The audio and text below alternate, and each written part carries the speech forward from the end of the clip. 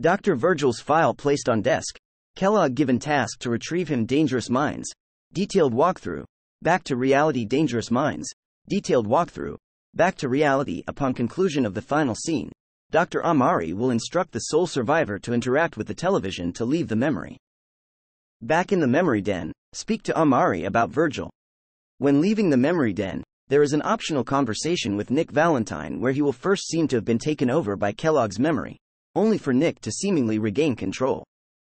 He will also offer additional advice about hunting Virgil.